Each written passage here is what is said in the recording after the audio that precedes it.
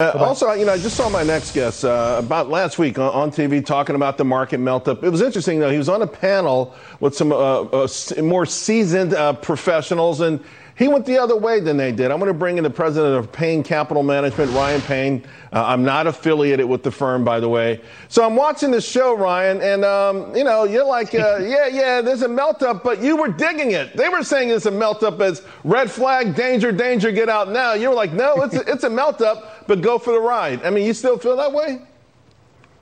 Absolutely, Charles. What do you mean seasoned uh, people in the industry? Come on, man. I got 20 years under my belt. I've got the scars on my back to prove it. Those dudes you were uh, with, uh, you know, you, you uh, believe me, but they've been around for about 40, 50 years. So you're, you've been in the business. I'm not dissing you. I'm just saying that they've been around a little bit longer than you. And you, you I don't know if youth had something that, that youthful exuberance had anything to do with influencing your position, but you do want to ride this up. By the way, uh, I'm reading Zero Hedge this morning, right? And they're saying Goldman is pumped too. They, they, they say there's all kinds of euphoria, uh, uh, euphoria out there. 90 billion, they say, will go into the market this week alone. So, yeah, we ride those waves, but on the street, they think that's a negative. Aren't, are you contrarian, contrarian at all? Yeah, I think the I think the contrarian view still is bullish, right? If you look at the average consensus of a strategist on Wall Street, their target for the S&P 500, Charles, is 4600. That's like less than a percent away. They just pack it in for the rest of the year and wait after that. Um, so I think you know right now the consensus is still relatively bearish, and you just said it. I mean, it's all about liquidity right now.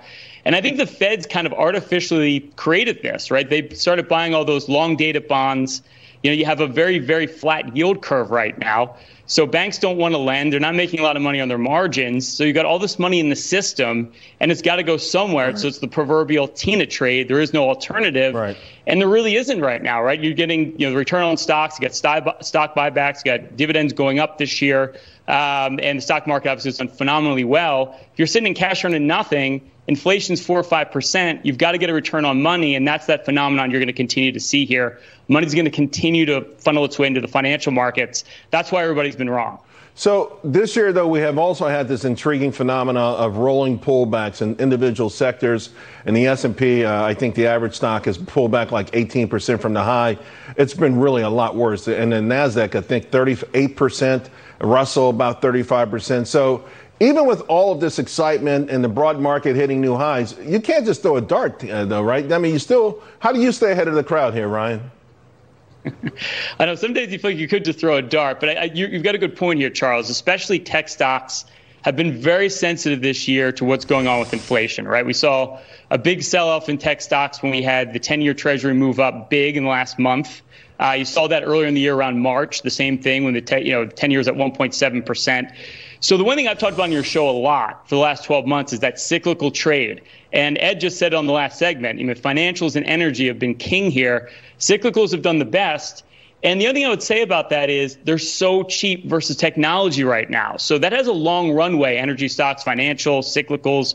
And I, I espouse the, the uh, international markets on your show, Charles. I know they haven't done as well yet, but they're so cheap. You have to have them in your portfolio. So I think you've got to be careful with valuation because the music does stop. Eventually it will. It's those higher valuation stocks that are going to get hurt the most. We saw that back in 2000, right. the tech bubble burst. All right, Ryan. You covered a lot of ground, my man. Good stuff. We appreciate it. And uh, Ryan, you, you, you're not a young whippersnapper, but you're not as old as some of these other dudes. All right. Uh, I'll take it, Charles. Right, I'll cool, take it from one cool. to another.